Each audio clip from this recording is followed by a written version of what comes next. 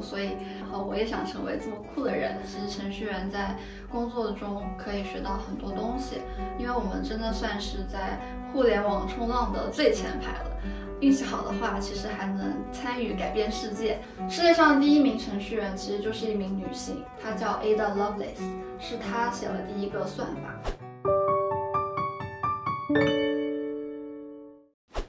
Hello，大家好，我是 Christina，我是一名程序员，同时也是一名视频博主，就是大家现在所谓的斜杠青年吧。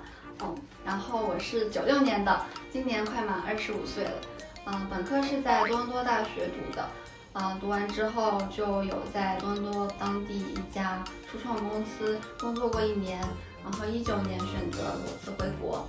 目前呢是在上海一家互联网公司做后端的开发，主要是 C Sharp 和 .NET 方向。其实大学入学的时候我是学商科的，然后嗯很偶然的一次机会吧，就是接触到了一门呃计算机入门的课，然后上完那门课我就发现。嗯，自己真的很很喜欢编程。我记得当时第一门语言学的是 Python，然后当时，嗯，就是第一次打出 Hello World 的那种感觉，我觉得就是特别印象特别深吧。还有我记得有一次是就是上课看到有一个同学就是有在用命令行敲代码，然后当时我不太懂嘛，然后就觉得他。特别特别酷，所以然后我也想成为这么酷的人。转专业之前呢，也是有做了一些 research，就是发现 CS 专业确实在国内外都比较好找工作。虽然现在很多人都在说程序员很苦很累之类的，每天九九六，三十五岁失业，但是我觉得程序员相比于其他的职业，其实能选的范围特别大。就如果你想当一个技术导的话，只要你在技术上。你可以一直钻研下去。如果你喜欢和人打交道的话，其实也能慢慢的去转一些管理的岗位。那如果你点子多、创意多，然后并且很擅长发现需求，我觉得你可以去当产品经理。如果你执行力特别好的话，也可以去当一些技术的实施支持这样子。他说不定就可能半半路去创业了，也也很有可能。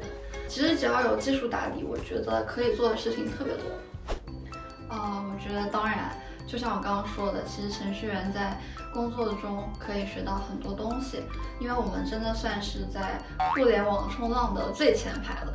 运气好的话，其实还能参与改变世界。但是其实，在推荐的同时，我可能会先让他问一问自己，就是到底为什么要学计算机，到底是不是真正发自内心的去。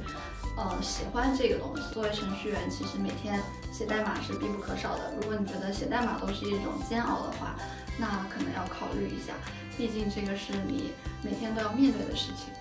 嗯，其实作为程序员，可能大家都知道 LeetCode。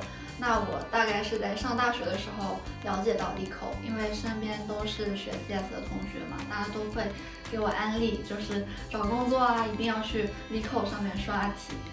就有的时候刷题的瞬间，就会突然想起，哦，原来当年学校没有理解的算法是这样的呀。然后找工作就别说了，真的有在面试上遇到一模一样的题，所以我觉得刷题还是，嗯，对找工作帮助很大。嗯，然后我觉得跟立扣很有缘的是，我其实，在 B 站上分享了我自己的一个刷题的经验。那那个视频呢，观看量也是超过了二十万，到现在每天还有很多人在看那个视频，就有经常收到大家的评论弹幕，很开心。所以是有很多小伙伴通过那支视频找到了我，然后认识了我，这个是跟 Vico 很有缘的一个故事。其实我在加拿大做的是偏全站一点的工作，有的时候下午两三点没啥事儿就可以回家了。几乎所有公司都可以做到 work-life balance。一开始我觉得特别爽，就很多自己的个人的时间嘛。但是久了之后发现，就是已经在自己的一个舒适圈里面待的实在是有一点太舒服了。我很怕就会变得很安逸。然后其实我自己是比较喜欢刺激，然后喜欢热闹的一个人。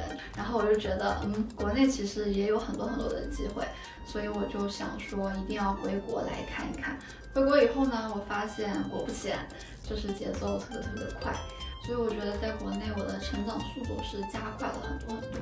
在上学的时候，包括工作里，可能女程序员在数量上确实相对来说比较少。但是我觉得工作上倒是没有觉得和男同事有什么区别。其实我从来不觉得女生学计算机算算是处于劣势，反而在上学的时候，我看见，嗯，女生的数量可能比较少，我还会自己有一点小骄傲。对，那我觉得这个其实是一个心态的问题。有一句话说的特别好，我不要你觉得，我要我觉得。世界上第一名程序员其实就是一名女性，她叫 Ada Lovelace，是她写了第一个算法。所以二零二一年了，朋友们，如果你觉得编程还只是男生才可以做的事情，我建议你先去读一读历史。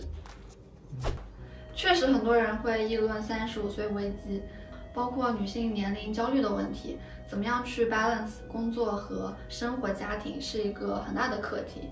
这个我觉得，与其去焦虑。不如把现在摆在你面前的事情去一件件的做好。大家可以在三十岁之前好好去想一想自己感兴趣的领域，找到适合自己的赛道，在三十岁之后就去往这个方向冲刺就行了。其实我平时的生活也是跟普通女生一样。如果累了的话，就在家煲一天的剧，然后也会出门逛街、看电影。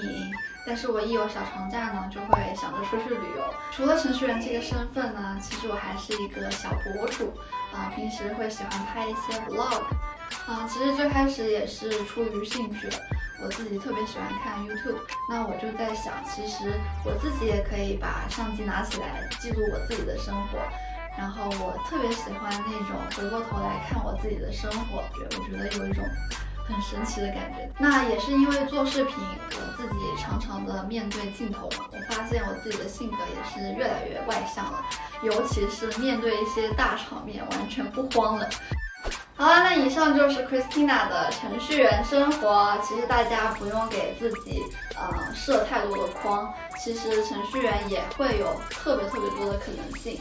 嗯，希望大家喜欢这一系列的视频。那喜欢的话，不要忘记给我们点赞，一键三连。有任何问题可以给我们弹幕或者是留言。嗯，那我们下一期再见喽，拜拜。